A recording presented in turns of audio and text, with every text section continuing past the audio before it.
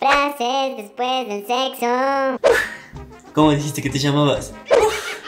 Y en fin, ¿pasa el semestre o no? ¿Y qué dice el cachudo de tu marido?